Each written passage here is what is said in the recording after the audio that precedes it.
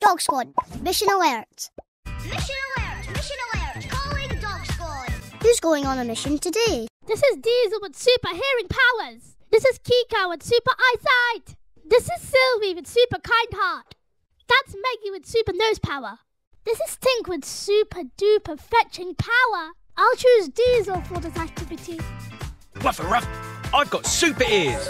Ears up. What's that sound? Diesel is a hearing dog. His owner Ryan is deaf, and Diesel helps him out. Wow! Mission one.